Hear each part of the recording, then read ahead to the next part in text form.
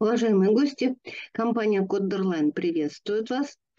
А, наши контакты вы видите на экране, электронная почта, телефоны, телеграм-контакты и адрес нашего сайта. Если вам по какой-то причине оказалось неудобно время проведения вебинара, вы можете немного позже зайти на сайт и посмотреть его записи, мы выкладываем. Ну, также, может, вас заинтересуют еще какие-то э, материалы, которые мы там размещаем. Вести сегодняшнюю встречу буду я, консультант-аналитика Динес Галина Гардышева. А, программу нашего вебинара вы видите на экране. Мы проговорим про настройки. Работать мы сегодня будем с конфигурацией бухгалтерия. А, поговорим, как организовать а, работу с этим блоком. Поговорим про опции новые и старые, про доверенности, то есть про наиболее значимые документы. Э, по работе с импортом и, э, собственно говоря, вот нововведение – это путевые листы и дополнительный сервис, который у нас есть в бухгалтерии. А наша встреча сегодня будет построена таким образом. Мы будем часть информации, в основном нормативную, смотреть по слайдам и будем переключаться на демо-базу. Сейчас я переключусь вот таким образом. И, собственно, то, о чем мы поговорили, будем смотреть с вами уже на местности, так сказать. А, мы с вами работаем с блоком покупки.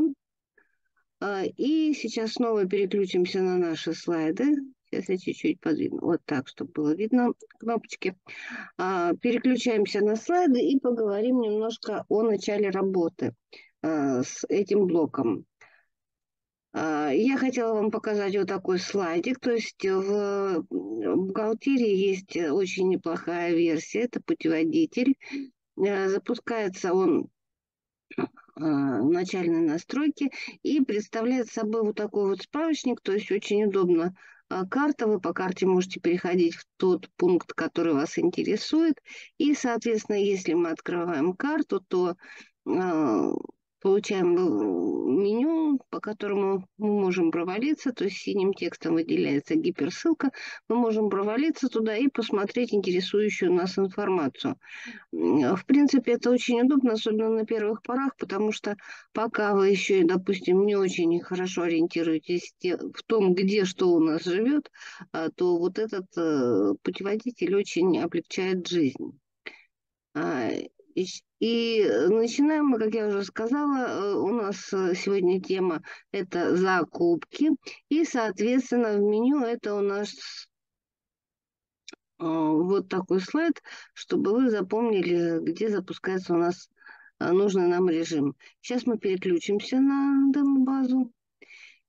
И вот он у нас пункт меню покупки и, соответственно, доверенности, которые сюда входят. Э, ну, сюда входят не только доверенности, сюда входят документы, то есть построение вот этого вот меню у нас таким образом. А, в этом столбике у нас есть э, возможность перейти в журнал документов, которые мы видим на экране. Здесь э, получить какие-то дополнительные отчеты и провести корректировку долга. А вот тут вот у нас еще есть меню настройки и сервис, и мы про это тоже немножко поговорим, но правда вскользь. А сразу хочу обратить внимание вот на что. У нас практически в каждом разделе есть дополнительный э, пункт, э, это настройки. И, соответственно, сюда вынесены настройки основных как бы основных разделов справочников, которые требуется более тонко настроить для работы с этим режимом. Как вы видите, у нас в настройках э, звучат запасы, расчеты, торговля и срок оплаты поставщикам. А, то есть срок оплаты поставщикам – это задание периодов, э, с которых наша задолженность э, становится просроченным. А вот в этих настройках мы должны задать дополнительные, более тонкие, так сказать, подробности. Но ну, начнем с самого начала. То есть для того, чтобы работать с пунктом покупки, а, мы предполагаем, что мы уже через э, раздел администрирования заполнили необходимые для начала работы справочники, то есть а, это у нас функциональность, э, то есть мы выбрали уже все, что здесь нас интересует, и э, еще несколько пунктов, которые мы должны были запомнить. Сейчас я про них поподробнее скажу. Как вы видите, у нас в функциональности э, стоят только запасы. Запасы и расчеты. А, то есть э, как такового меню покупки у нас здесь нет, потому что туда входит несколько функциональных опций. То есть меню запасы э, предполагает, что мы уже проставили вот тут такие красивые зеленые галочки, это чек и соответственно, это значит, что активируется какой-то э, блок работы с, с конфигурацией. Поскольку у меня уже заполнены эти сведения, то, видите, эти пункты у меня закрыты для, для редактирования. А, возвращаемся снова в раздел «Покупки» и а, поговорим вот про что. То есть, соответственно, раз, ну, условно, а, здесь э, размещены документы, которые более или менее часто требуются для работы с закупками, с командировками, ну, то есть со всеми сведениями, которые касаются именно этого бизнес-процесса. А, начинается блок с доверенности. Доверенность, в принципе, это не бухгалтерский документ, поскольку не рождает никаких проводок, а только э, обозначает э, доверение права представлять компанию на э, разных этапах, то есть при получении товаро-материальных ценностей, при подписании каких-то документов и так далее. Но, как вы, скорее всего, уже знаете, сейчас у нас набирают обороты машинопис... машиночитаемые доверенности. Здесь у нас, к сожалению, обычные варианты, то есть это формы 2М и 2МА. Сейчас мы с вами переключимся на слайдики снова. И вот это наше меню, и вот э, у нас пункт доверенности. А, кроме этого пункта у нас есть возможность, вот вы видите на слайде, выделен блок, с которым мы в основном будем работать, про который мы будем сегодня с вами разговаривать. А, возвращаемся в демо-базу. Сейчас мы с вами посмотрим доверенности, а потом э, по более значимым документам еще раз э, с вами пройдемся. А, то есть э, при работе с покупками у нас в любом случае возникает необходимость создать доверенность. Э, здесь нужно сказать вот что, что в э, конфигурации предусмотрено, естественно, формирование журнала доверенности, то есть автоматически идет их нумерация, и в хронологическом порядке мы их увидим в журнале. Заполняется здесь информация э, сведениями из справочников, которые есть в бухгалтерии, ну и, соответственно, э, заполняется шапка, то есть что конкретно мы доверяем человеку по получить, приобрести и так далее. А, здесь есть возможность, то есть мы можем как выбрать из справочника, а, то есть вот такой у меня в Донбассе вот такой, я выбрала, соответственно, что это у меня какао. И э, дальше я уже заполняю сведения про количество и про единицы измерения. Но я могу, если у меня, например, нету в справочнике нужной мне позиции, я могу дописать здесь ручками, программа дает такую возможность. И на закладочке дополнительно мы э, делаем ссылку на документ, по которому мы э, создали эту доверенность и, собственно говоря, подробности нашей сделки, того, что, что наш сотрудник должен получить. А, и э, печатная форма, как я уже говорила, М2 и М2А. То есть э, в зависимости от того, какая требуется для вашей бухгалтерии, делается э, здесь запись. И потом вот мы видим журнал доверенности, и э, теперь нет необходимости вести его в ручном формате. Мы можем распечатывать отсюда листы справочника. А вот дальше у нас начинаются уже более интересные моменты. И, э, естественно, а, настройки, которые необходимо сделать, лучше делать заранее. То есть есть возможность э, проводить настройки по ходу создания документов, но мы сейчас немножечко с вами вернемся на раздел запасы. И вот почему. То есть э, в конфигурациях, особенно в последних релизах, достаточно много изменений. Как вы знаете, с 1 января у нас практически революционные изменения и э, налогового учета, и э, практически бухгалтерского учета, потому что поднимаются нов, новые ФСБУ. Ну, то есть, э, дай нам Бог жить в эпоху перемен, это про нас. Э, для того, чтобы работать с разделом запасы, я хочу напомнить немножко несколько моментов из ФСБУ 5 дробь 2019, которая действует у нас уже достаточно давно и, скажем так, не является, в общем-то, таким уж новшеством. А, то есть при работе с меню запасы нас э, переадресовывает э, программа снова в функционал, и э, мы здесь можем отметить, э, соответственно, что нам требуется или не требуется. То есть будем мы, например, работать с возвратной тарой, будем мы заниматься комплектованием накладных, ну и так далее. То есть вы должны проверить вот эти вот настроечки еще раз. И обратите внимание, есть э, некоторые разделы, которые требуют полного интерфейса, поэтому изначально, когда вы только сюда попали, вам лучше выбирать полную настройку, потому что потом не придется возвращаться. А, а иначе в самый неприятный момент с вас программа начнет требовать полный интерфейс, а это бывает не всегда можно быстро вспомнить, а где же я видела эту настройку. То есть, а, еще раз э, повторюсь, на настройке функциональности мы выбираем полный интерфейс. Сейчас а, мы это закроем и снова вернемся к нашим слайдам, а, потому что я хотела еще раз вам напомнить, в общем-то, положения, которые касаются э, нашего ФСБУ 5 то есть 5 дробь 2019. Оно регулирует как раз э, учет и взаимоотношения, так сказать, с запасами. Как вы знаете, у нас тоже произошли достаточно серьезные изменения в 19-20 годах. И поэтому в ФСБУ было введено несколько новых понятий, определений и так далее. А,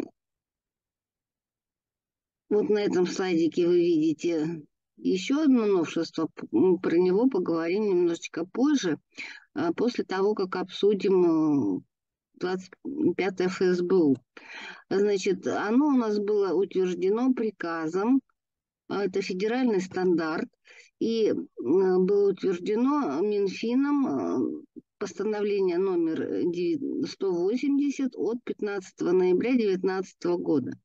Оно обязательно к применению на данный момент.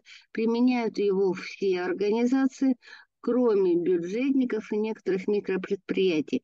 Вот при слове микропредприятие оно вам встретится еще в другом контексте не один раз. То есть здесь имеется в виду, что ваша организация по ИНН должна э, быть в реестре предприятий малого и среднего бизнеса. То есть прежде чем принять решение, что вы не применяете этот стандарт, вы должны удостовериться, что ваша организация в этом реестре присутствует. Если же нет, то надо срочно предпринимать административные действия для того, чтобы ваше предприятие в этот реестр было включено. Только в этом случае вы будете иметь право не применять данный стандарт. А микропредприятия, в принципе, э, имеют право вести упрощенный способ э, ведения учета, то есть а, тогда они могут и не применять э, это ФСБУ. А в этом случае они стоимость запасов, то есть то, что у нас, в принципе, учитывается на счете 10, могут сразу списывать состав расхода текущего периода. Если же вы э, не посмотрели и не удостоверились, что ваше предприятие имеет такое право, то вы рискуете нарваться на штрафы. То есть за неприменение стандарта само по себе штрафование отсутствует, то есть штрафы не применяются.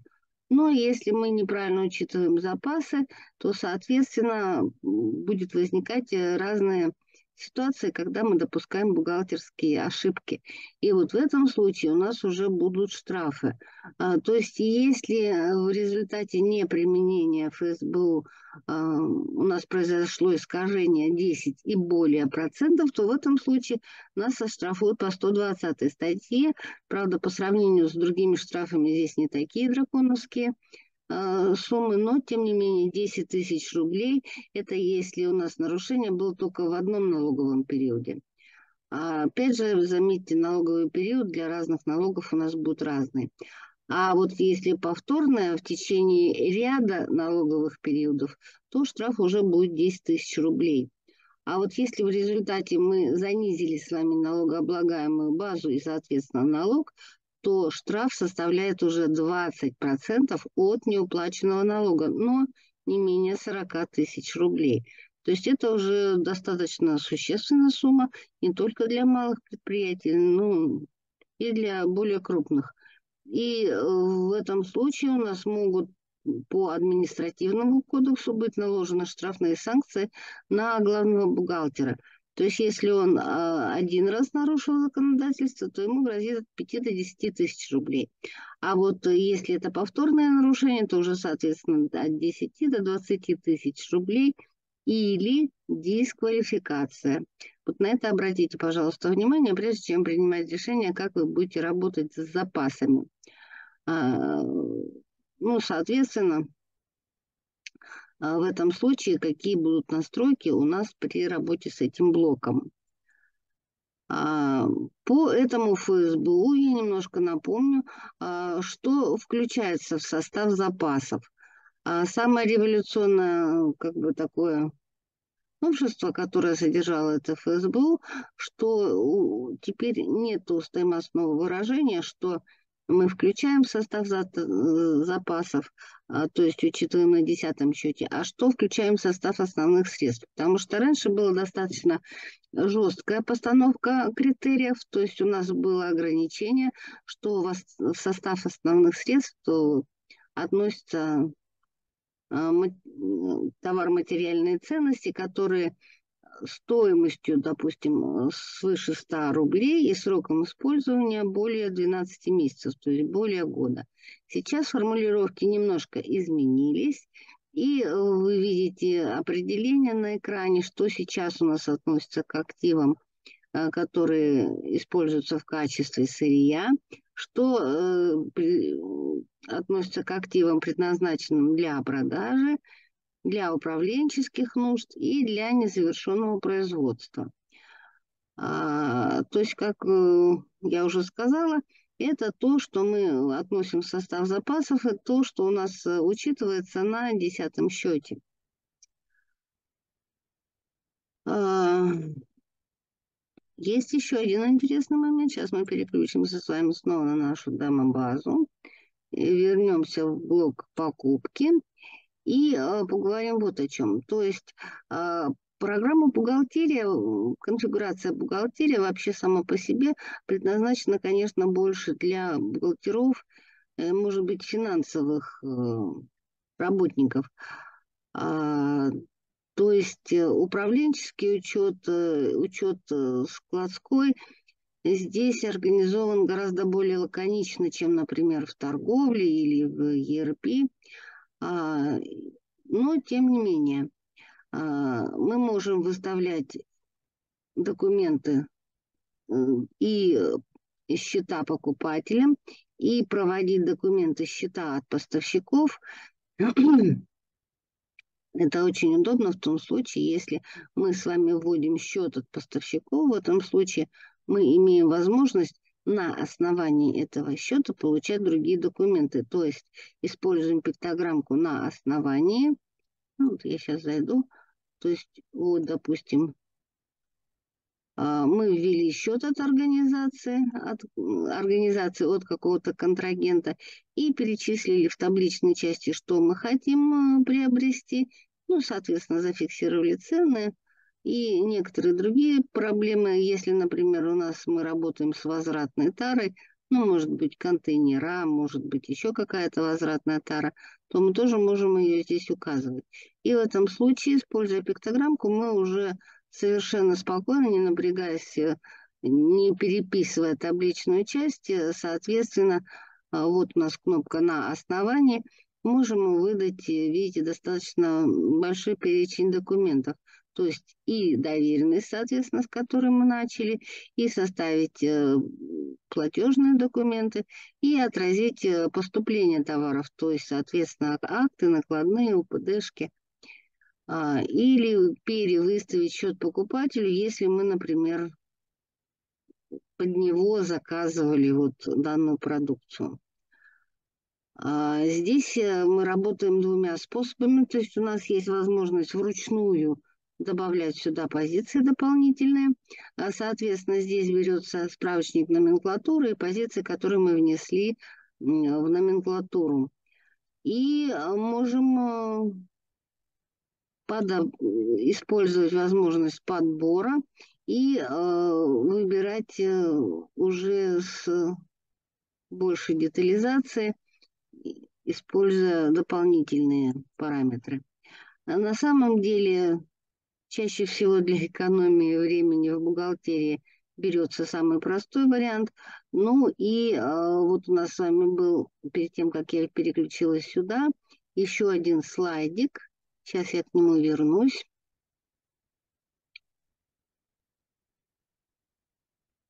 Так, вот он. На этом слайдике вы видите выделенный пункт э, «Сервис загрузить документы из сканов». То есть на самом деле это самая большая, наверное, была проблема а при работе с документами, что с э, входящими, что с переданными по электронным каналам, что в бумажном формате, особенно если большой поток э, документов, проблема давно пыталась, давно пытались решить эту проблему, и были разные варианты. А, предлагалось э, сканирование документов, э, например, через поточные сканеры с распознаванием документов и так далее. Но это были, скажем так, отдельные попытки компаний, которые занимаются разработкой э, совместимых с 1С программ и так далее. А, позже компания 1С э, ввела дополнительное распознавание документов. То есть вы можете теперь загружать сканированные документы, и программа будет их распознавать и загружать уже сведения э, напрямую в вашу конфигурацию, избавив вас от э, дополнительного ручного ввода. Это на самом деле очень большое облегчение, потому что позволяет экономить Э, и численность людей, которые занимаются, соответственно, операторской деятельностью, то есть вводом документов, и э, время для обработки документов. То есть если мы с вами пользуемся такой возможностью. На самом деле, а, теперь в начале пути, так сказать, распознавалась всего пара документов, там, например, а, поступление, документ поступления и счет фактуры. Сейчас таких документов уже гораздо больше, и практически они охватывают весь спектр документов, с которыми приходится работать э, при вводе информации. Снова возвращаемся в нашу демо-базу и посмотрим это, так сказать, на практике. А, то есть мы переходим а, по этому пункту, попадаем вот в такое меню. И здесь уже можем смотреть и групповую обработку, то есть если у вас, например, поточный сканер, ну и, соответственно, полностью информацию о а, том, в каком состоянии документы, которые вы хотите распознать и загрузить в конфигурацию.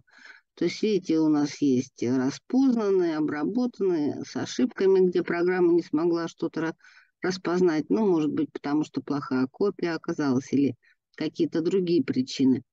А, то есть получается, что это очень удобная функция, которая появилась вот совсем недавно. Снова вернемся в меню покупки и э, дальше организационных вопросов у нас на самом деле осталось не очень много. Э, то есть э, мы можем создавать документы вот из первого столбика, э, путем перехода в журнал документов. И здесь уже мы либо по кнопке поступления, либо по кнопке создать выбираем из списка э, тот документ, который нам требуется. То есть, э, обратите внимание, мы можем накладную выбрать, услуги, то есть разные формы, и э, комиссионная торговля, то есть возможность работы, использования комиссионной торговли у нас заложена в первоначальных настройках. А, и, как вы видите, здесь можно работать и с лизингом, и с факторингом, чего тоже достаточно долго не было с оборудованием, объектами строительства, земельными участками. То есть достаточно большой спектр, в основном Э, все документы, которыми оформляется поступление товаро-материальных ценностей, здесь перечислены. И если мы выбираем какой-то конкретный документ, то у нас открывается форма этого документа, и мы э, заполняем ее уже вот в таком формате. И здесь мы можем работать как по уже созданным справочникам. В этом случае нам надо Э, выбрать. То есть, видите, если я нажимаю «Показать все», у меня открывается структура, и я могу выбрать э, структура справочника контрагенты, и я могу выбрать, соответственно, того, э, кто мне требуется для оформления данной транзакции. А, если вы выбрали мультифирменный учет при первоначальных настройках функциональности, то есть введение а, дополнительное введение учета от имени нескольких юрлиц, то, соответственно, вы будете выбирать. Если у вас э, вы выбрали а, одну организацию, то есть если у вас одно юридическое лицо, то, соответственно, будет подставляться именно оно. Вы выбираете склад, на который должна поступить э, должно поступить, например, это оборудование. И дальше уже по закладочкам заполняете то, что э, требуется, то есть ту, ту информацию, которая у вас есть в вашей в вашем документе. А, обратите внимание на закладочку «Дополнительно». На закладочке «Дополнительно» у нас есть грузоотправитель и грузополучатель. То есть, если требуется дополнительная информация, например, для ТТН, для путевых листов, для счет фактур, то в этом случае информация берется именно вот отсюда. И здесь ставится отметка «Оригинал получен». А, это достаточно больная тема при работе с покупками, потому что очень э, часто бывает, что вам прислали счет фактуры, например, по электронной почте, прислали э, скан-копию и так далее. То есть в этом случае если вы не проставите какую-то отметку, вы не сможете быстро определить, э, что это было, то есть насколько ваш документ легитимный, потому что э, не все э, сканокопии можно принять к учету. Все зависит от того, как говорено в вашем договоре. Если у вас, например, есть отметка, что сканокопии принимаются наравне, имеют юридическую силу наравне с оригиналами, то все хорошо. А если нет, то может быть э, сложность с тем, что у вас налоговая исключит эти документы из состава затрат. Так, мы отсюда уходим. И снова возвращаемся к нашим слайдикам. Так, к нашим слайдикам. И э, дальше у нас с вами есть еще один интересный документ – а, про который мне хотелось бы сказать. Этот документ называется «Расходы предпринимателя». А, если мы открываем демо-базу, то мы увидим этот документ вот в первом столбике. Расходы предпринимателя мы через кнопочку «Создать» можем ввести вот, например, у меня есть э, организация Абрамов, это мое ИП. Я могу выбрать основной склад и добавить сюда, соответственно, те расходы, которые будут э, для предпринимателя учитываться. А, раньше, в принципе, этого тоже не было, и народ э, выходил из ситуации разными способами. Кто-то через ручную операцию, кто-то кто, -то, как-то. А теперь у нас есть возможность вот таким образом э, создавать документы расхода предпринимателя. И э, еще хочу обратить ваше внимание на строение журнала. То есть у нас в журнале есть вот такая пиктограммка э, в каждом журнале. Э, это справка. И справка у нас касается двух форматов. форматов. То есть мы можем получить справку про действия, которые нам доступны с документами, и можем получить более подробную контекстную справку. В этом случае у нас будет уже не работа с журналом или с документами, а конкретно методическая помощь по конкретному вопросу. А, снова переходим к слайдикам. И вот так вот делаем. Э, и поговорим вот о чем. А, то есть, соответственно, новые сервисы, которые у нас возникли, ну вот как распознавание документов, а,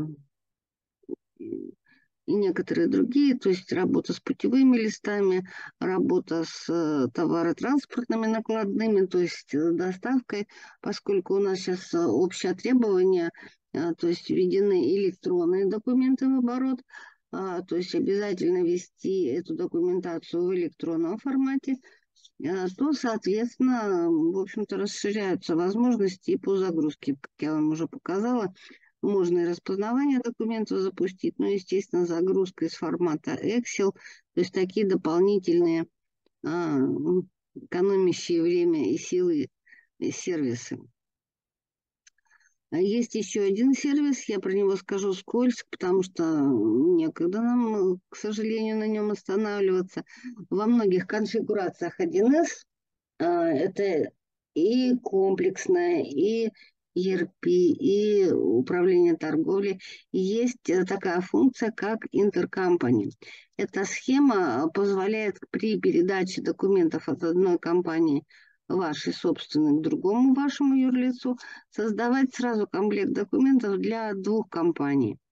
А, то есть в этом случае э, не надо держать на контроле выписаны ли документы от имени собственных ее лиц, которые внутригрупповые а, обороты по легализуют, так сказать, и, соответственно, не возникает при этом проблем в учете, что где-то пропустили какую-то накладную, и у нас не синхронизированы поставки и продажи между этими двумя юридическими лицами. Еще один момент. Это очень удобно в бухгалтерии работать с импортом.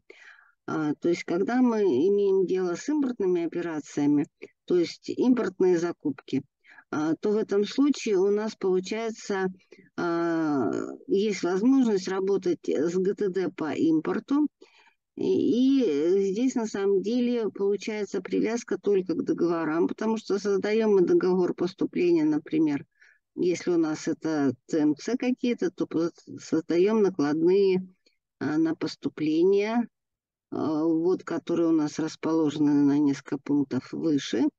И в этом случае, чтобы работать с ГТД, у нас должен быть валютный договор. То есть мы создаем валютный договор между конкретным контрагентом и нашей компанией. И, соответственно, в этом случае товары должны проходить таможенную очистку. То есть на момент, когда к нам поступает э, товар от иностранного поставщика, и мы передаем э, документы, ну, либо таможенному брокеру, либо собственному таможенному специалисту, мы можем составить ГТД, ГТД по импорту. В этом случае у нас создается документ, который отражает, э, в общем-то, содержание ГТД, которое вы получаете, когда завершается таможенная очистка. А сейчас, как вы знаете, у нас таможня обменивается а, в электронном формате информацией и с банками, и с налоговыми органами. Поэтому, в общем-то, скажем так, держать э, на контроле сроки предоставления таких документов уже не так обязательно, то есть таможня уже самостоятельно подаст вашу декларацию после того, как проставит штамп «Выпуск разрешен», она самостоятельно подает информацию в налоговые органы и в банк. А, соответственно, когда мы создаем а, когда мы создаем ГТД, мы действуем на основании, то есть мы на основании документа поступления создаем таможенную декларацию. И в этом случае на закладочке главное мы пишем название, то есть как магазин, извините, магазин, как называется ваша таможня. Это может быть э, любое название – ну, можно написать, например, таможня Внуковская или таможенный пункт там в аэропорту Внуково, или, ну, то есть любое наименование. А вот номер ГТД, первая часть до слэша, это как раз-таки номер таможенного органа. Дальше идет дата, и дальше идет уже номер конкретного документа. А, если мы ведем расчет с таможней, то чаще всего требуется введение депозита, то есть, соответственно, мы заполняем банковские реквизиты и таможенные сборы. А вот раздел ГТД у нас уже отражает ту информацию, которую мы заполнили с вами в документе поступления. То есть, во-первых, таможенная стоимость, во-вторых, процент пошлины и НДС, а, и дальше идут уже перечисления в табличную часть товаров, которые вы получили по этим документам.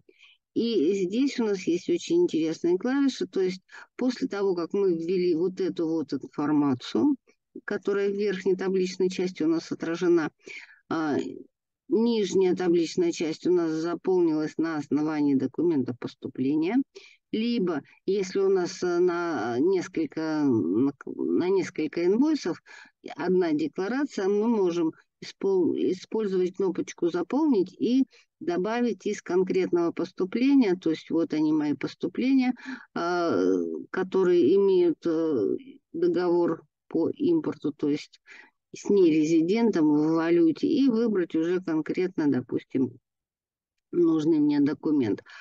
А, после того, как я заполнила табличную часть, если, например, у меня было 3-4 документа – в которые, на которых оформлена одна декларация, то у меня здесь будет большая длинная табличная часть, и, соответственно, а, ссылка, по какому документу было это поступление. А, и после этого я нажимаю кнопочку «Распределить», и суммы пошлины – и входного, валю... входного таможенного НДС у меня распределяются пропорционально позициям, которые вошли в мою табличную часть. То есть не нужно уже сидеть и высчитывать, э, и, собственно говоря, минимизируются ошибки. То есть получается очень удобный э, документ. А, ну и, собственно говоря, э, мы можем сразу здесь же в этой же декларации создать создать э, документ, который будет отражаться в книге покупок, э, то есть НДС, таможенный НДС, который у нас будет к вычету. И посмотреть структуру, так же, как во всех других документах, можем посмотреть структуру подчинения. То есть вот было у меня поступление, вот у меня договор, по которому я перечисляю аванс, например, на таможню, и вот моя ГТДшка, по которой списываются с таможенного депозита средства. А, кроме того, что мы можем работать с иностранными поставщиками таким образом более комфортно, у нас есть возможность э, тоже в таком же комфортном режиме оформлять заявление о ввозе товаров из таможенного союза. То есть это наши Беларуси и другие участники, кто входит в этот таможенный союз. В этом случае у нас заявление на ввоз а, формируется точно так же на основании а, например, счета или какие-то каких-то других документов, которые сопровождают, сопровождают сделку. И, собственно говоря, принцип работы точно такой же.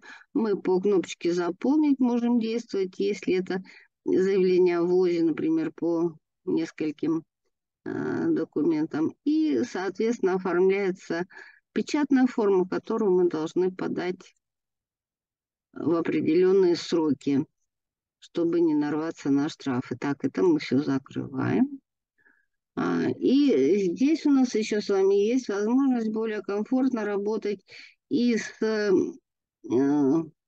командировочными, то есть с командировками, с авансовыми расчетами, и с комиссионной торговлей, то есть когда мы, например, э, работаем качестве комитента или когда возникают какие-то ситуации с маркетплейсами. А мы чуть-чуть попозже поговорим про это, но, к сожалению, мельком. А, то есть, э, как вы видите, блок работы с иностранными поставщиками, с импортом э, очень комфортно. Здесь нет ничего лишнего, и вся информация, которая требуется для бухгалтерского оформления именно импортных закупок, то есть работы с нерезидентами. А, если обнаружены какие-то расхождения между тем, что у вас числится в документах, и тем, что вы получили, на самом деле есть документ акта о расхождениях, потому что раньше было достаточно, ну, не проблема, но было, было менее комфортно работать э, с учетом правил э, получения товаров, поступления, проведения приемки и так далее. Потому что можно, конечно, сделать обходным путем, скажем так, а, через корректировку поступления можно сделать акт расхождения и, соответственно, возврата поставщикам. А если, например, это не сопровождается НДС, то есть, например, вы не являетесь плательщиками НДС, или ваши партнеры не являются плательщиками НДС, то, в общем-то, ситуация немножко попроще. Если вы э, на общем режиме, то есть если вы работаете с НДС, и ваши партнеры, например, работают с НДС, то в этом случае нужно следить за тем, чтобы и при поступлении э, ГТД по импорту, то есть при растаможке товаров у вас составлялись ГТД, и своевременно и правильно оформлялась работа с Э, командировочными удостоверениями, то есть с командировочными сотрудниками. То есть, как вы видите, у нас раздел покупки входит несколько как бы блоков по бизнес-процессу. То есть работа с э, отечественными поставщиками, когда идет поступление, например, товароматериальных ценностей, работа с командировочными, в том числе, видите, есть отдельный пункт поступления билетов, то есть это поступление бланков строгой отчетности. А, есть возможность работать по импорту с учетом и иностранных поставщиков, и а, поступления из таможенного союза и комиссионного, комиссионная торговля, и работа с командировочными. Значит, командировочными, то есть по 71 счету у нас с вами предусмотрены авансовые отчеты. Ну вот я сделала ради примера один авансовый отчет. Здесь, э, в общем-то, так же, как и во всех других документах, если вы не э, заполнили на начало работы э, с блоком какие-то справочники, то вы можете прямо по ходу заполнения эти справочники – добавлять, то есть добавлять в них нужную информацию. Но э, чисто на практике лучше, когда это продумано заранее, до того, как вы начинаете работать с конфигурацией в полную силу или с каким-то конкретным блоком, лучше по-спокойному посидеть и заполнить э, справочники, хотя бы э, организовать их структуру. То есть какие у вас есть э, склады, какие у вас есть подразделения, какие у вас есть юридические лица. И уже после этого начинать работать с конкретными документами, а, где по заявочкам, по закладочкам вы можете добавлять нужную информацию. То есть, соответственно, на, склад, на закладке товара у вас есть возможность выбрать из номенклатуры – из справочника номенклатура, возвратная тара, это тоже у нас будет номенклатура. Выбрать оплату, если у вас происходили какие-то платежи, и сейчас э, расчеты там, допустим, с командировочными, либо наличными, либо какие-то такие очень не приветствуются, но тем не менее возможность такая у нас есть. И вот видите, закладочки билеты мы можем э, добавить и оплатить какой-то документ, если вы берете там какие-то билеты, которые связаны с коммерческой деятельностью и имеют экономическую обоснованность. То есть, чтобы не возникло э, претензий от налоговых органов. А, и закладочка «Прочее». Вот закладочка «Прочее» – это, если можно так выразиться, э, такой, такая палочка-выручалочка, закладочка, прочее, где у нас отражаются а, те расходы, которые обычно мы не можем квалифицировать, что это будет, например, товары или хоз э, принадлежности или МБП, как раньше говорили. А, то здесь, соответственно, могут входить и суточные проживания, и э, какие-то дополнительные мелкие билеты, проезд по городу, там, например, к месту дислокации ваших партнеров и так далее. А вот на закладочке прочее мы указываем эти билеты, ну, соответственно, если у нас есть НДС, то мы его показываем отдельно.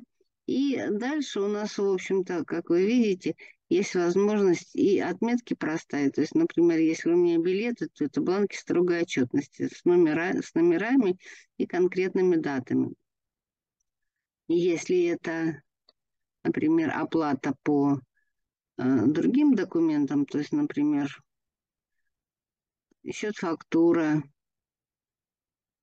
ну, то есть э, э, акт из гостиницы или какие-то расчетные данные, то мы, соответственно, заполняем сведения про документ, номер документа, дату документа, сумму и э, соответственно, счета затрат, на которые будут отнесены, и аналитику затрат.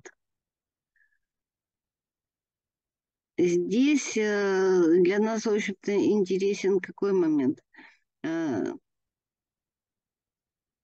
на закладке «Оплата» мы можем указать, то есть добавить счет, э, добавить документ, пишем, какой документ, может быть, это чек, может быть, это квитанция, может быть, ну, документ, который вам выдали в руки. А, выдаем, выбираем из справочника контрагента какого-то конкретного, а, конкретного поставщика, конкретное юридическое лицо, указываем сведения про договор в обязательном порядке и, например, может быть, что вы погашали какую-то уже существующую задолженность. То есть в этом случае мы тоже просто указываем счета, счета расчетов, и это тоже относится к закупкам. А, то есть э, меню покупки у нас включает несколько вот таких разделов, как я уже говорила. Сейчас мы с вами снова переключимся на наши слайдики и поговорим вот о чем. А, про поддержку, которая существует в программе. Как я уже говорила, э, сервис, которые помогают и комментируют какие-то действия, э, в программе достаточно много. Ну вот, например, ввоз товаров и материалов из стран-членов Таможенного союза. У нас с вами вот такой есть. Это я сделала скрин из помощника, из помощи. То есть вы можете конкретно перейти по гиперссылке и посмотреть, э, какие э, документы или какие действия сопровождают этот процесс. А поддержка очень хорошая, методическая поддержка от компании 1С э, сделана, выполнена очень корректно и практически ко всем разделам. Сейчас мы с вами вот то, что посмотрели, повторим. Ну вот, допустим, возьмем вот этот документ заявление о вводе. А, можно зайти в документ и, а, как я уже говорила, а, используя кнопочку «Еще», и можем вот здесь кнопочку еще использовать. То есть у нас есть справка, которую вот самый последний, видите, строка справка. И есть вот здесь такой же значок, вопросительный знак, это справка. Тоже только здесь у нас мы видим а, правила работы с документами. А вот в этой справке, которую мы можем вызвать из программы, вот здесь вот, мы можем по этой справочке, сейчас я вот так вот сделаю, то есть мы можем по этой справке уже вызвать другую информацию более подробно, как вы видите, ее здесь достаточно много. То есть, если что-то вызывает у вас э, сомнения или возражения, то вы можете перейти и практически полностью этот блок просмотреть а, и познакомиться с тем, как он работает. Так, мы сейчас это отставим. Снова перейдем вот так вот, чтобы было нам удобно. И э, перейдем к следующему документу. Э, здесь мы с вами уже были, мы смотрели это на демо-базе. То есть здесь у нас э, слайдик, э, как работать с GTD, то есть, соответственно, с блоком э, импорт. Э, Верхняя часть – это у нас журнал документов, э, то есть э, журнал наших ГТДшек. А нижняя часть окна – это у нас, собственно, сама ГТД э, с табличной частью верхней, где мы видим суммы, которые должны быть распределены, и нижней табличной частью, в которой будет перечислена будут перечислены все ТМЦ, которые мы получили, и на эти ТМЦ будет распределена сумма, которую мы видим в верхней части экрана. А, соответственно, когда мы работаем с ГТД, это вот вы видите на экране сейчас проводки, которые у нас формируют документ ГТД, например, по импорту. А, то есть у нас формируются а, расчеты с поставщиками и по товаро-материальным ценностям. Ну вот в моем примере это десятый счет, поскольку для меня это сырье. Если бы это, например, были товаро-материальные ценности другого плана, то есть, например, э, товары для перепродажи, то, соответственно, у меня бы работал 41 счет. А, то есть вот они мои расчеты с поставщиком. Вот он у меня учет э, таможенный, то есть э, таможенный НДС. И, соответственно,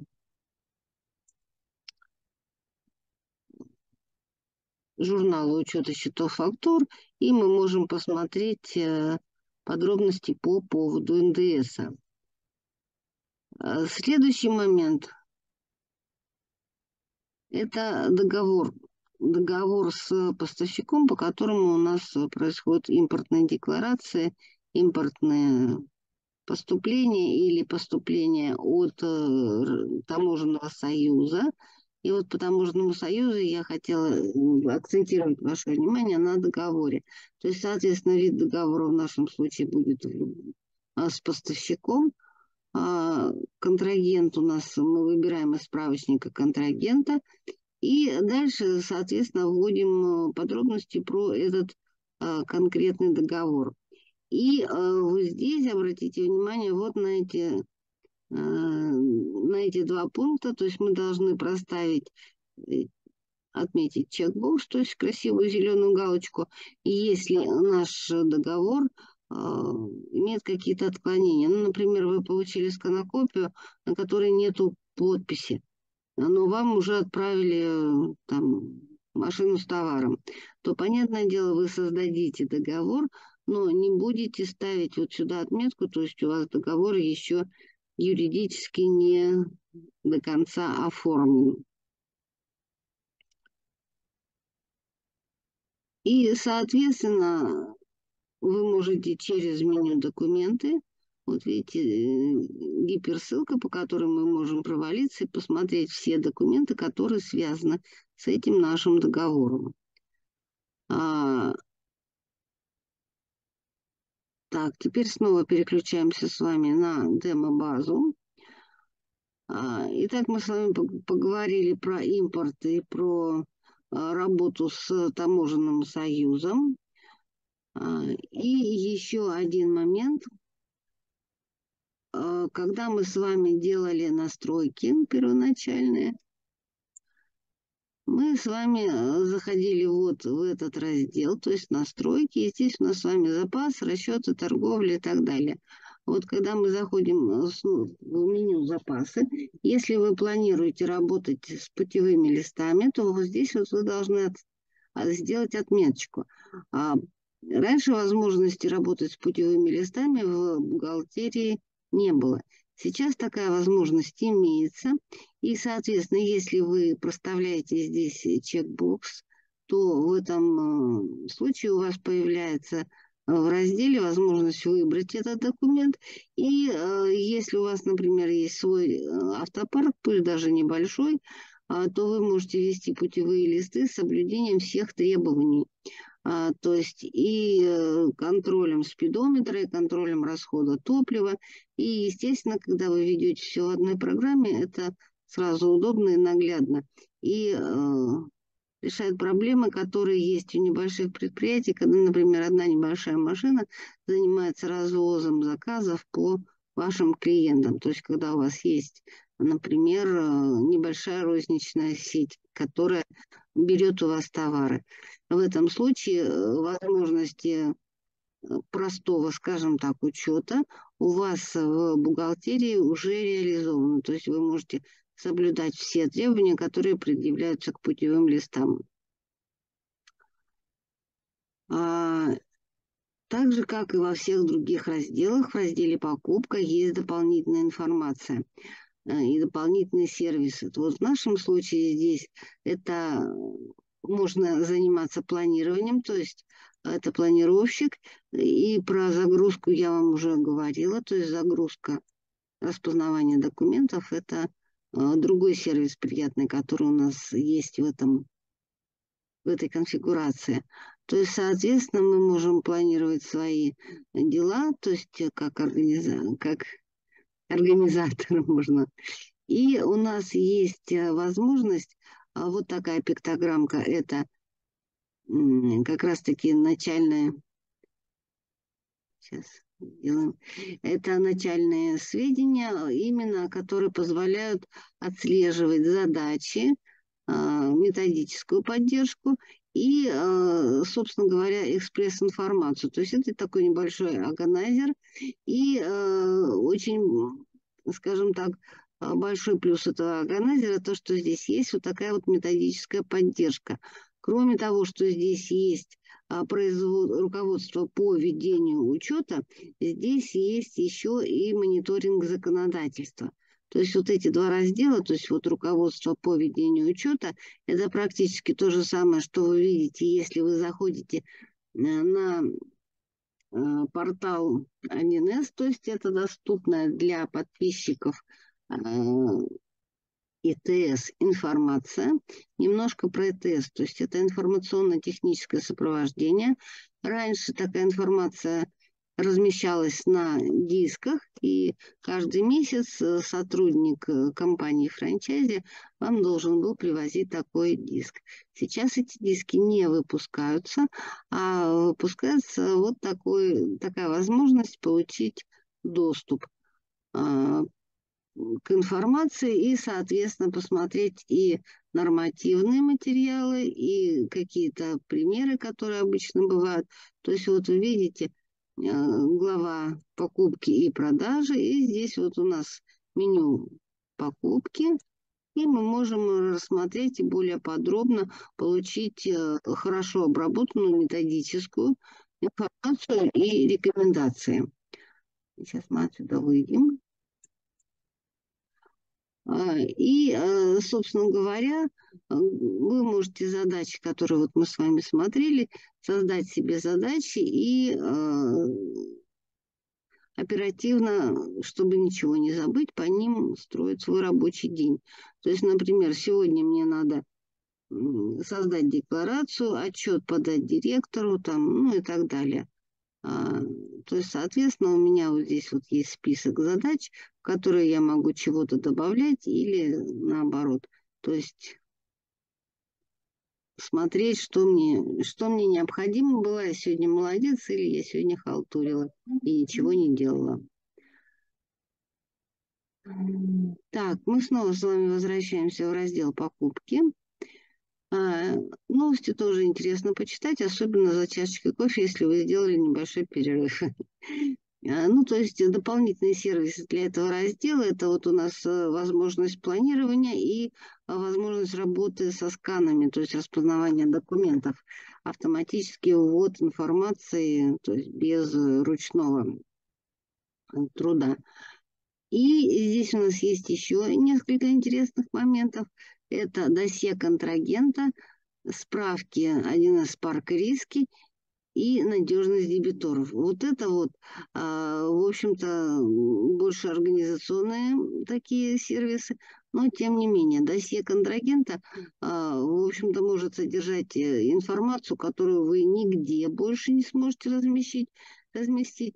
То есть в досье, когда вы заполняете информацию про контрагента, попадают сведения, которые регистрационные, то есть которые относятся к ЕГРЮЛ, допустим, к бухгалтерской отчетности. Здесь у нас можно получить анализ отчетности, обратите внимание, и финансовый анализ. А, в общем-то, очень удобное досье. А, дополнительная информация, которую в нем можно разместить, это ну, любая информация, которая поможет, например, вашим менеджерам или вашим руководителям общаться с этим контрагентом. Ну, типа э, имя любимой собачки, количество кошечек и так далее. А, если мы с вами говорим, например, а, про то, что мы собрали про него всю информацию, все знаем, его кошечек, его собачек, а вот э, насколько он честно ведет бизнес, э, вот это для нас под вопросом. У нас есть вопрос, вот так, у нас есть вот такое меню. А, справки 1С, парк риски. А, то есть это то, что тот сервис, который мы можем использовать на этапе проверки контрагента. Вот здесь хочу вам сказать, что в зависимости от того, что у вас за подпиской ТС, то есть, например, проф или техно, вам доступны сервисы или бесплатно, или за дополнительные средства. То есть один из таких сервисов – это э, проверка контрагента. Сервис очень удобный с двух точек зрения.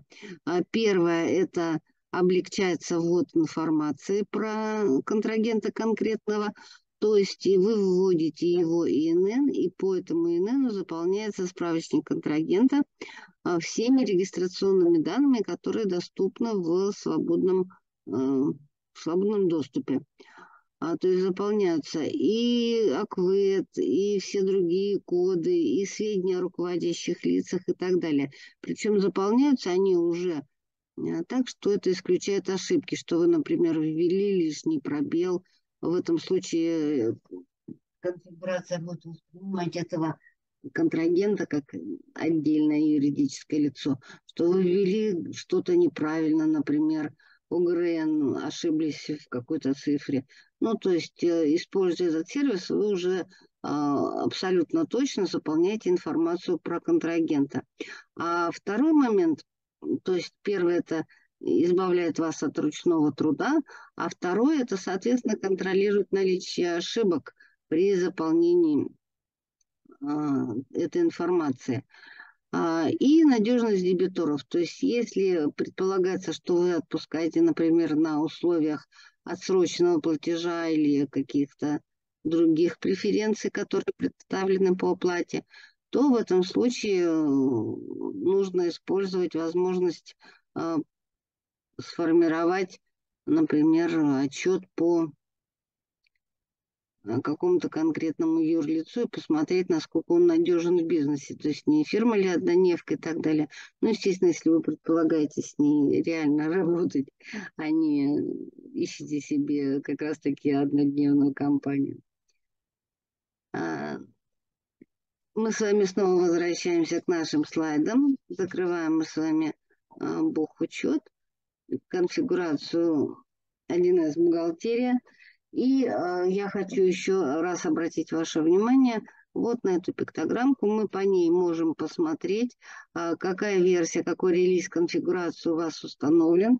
Потому что, напомню, э, в этом году у нас очень часто меняются и отчетные формы, формы регламентированного учета. И если вы не уверены, например, вы приступили к, со к составлению отчетности за 9 месяцев и не уверены, Э, все ли бланки у вас э, актуальны, то вот по такой пиктограммке и с точечкой вы можете посмотреть сведения о своей конфигурации, с которой вы работаете. То есть вот это у нас номер платформы, которая установлена, а вот это вот сведения о самой конфигурации. И вот, как вы видите, у меня, например, не самая последняя конфигурация, совершенно как бы намеренно, но, тем не менее, она не такая древняя, то есть, э, во всяком случае, она имеет уже все актуальные формы регламентированного учета, и, э, допустим, для создания стандартных бухгалтерских отчетов и регламентированных она вполне подходит. Возможно, в ней нет некоторых сервисных функций, которые уже появились в более поздних релизах, но, тем не менее, на данный момент она меня, например, устраивает, и я могу ей пользоваться. Но, естественно, перед составлением отчетности лучше всего обновить э, релиз конфигурации. Так, снова мы с вами переходим. Вот таким образом. И возвращаемся к нашим слайдикам, а точнее к первому нашему слайду, то есть к титульному листу. И я хотела бы напомнить вам наши контакты, которые вы здесь видели, уже телефоны, а, адреса электронной почты, адрес нашего сайта. И приглашаем вас к сотрудничеству. Будем очень рады оказаться вам полезными мы можем решать любые проблемы, которые касаются семейства 1С. Это и продажа, и доработка, и внедрение. Так что милости просим. А, мы хотим поблагодарить вас за время, которое вы нам уделили, за интерес, проявленный к нашим а, темам. На этом разрешите пожелать вам всего доброго. Наша встреча закончена. До свидания.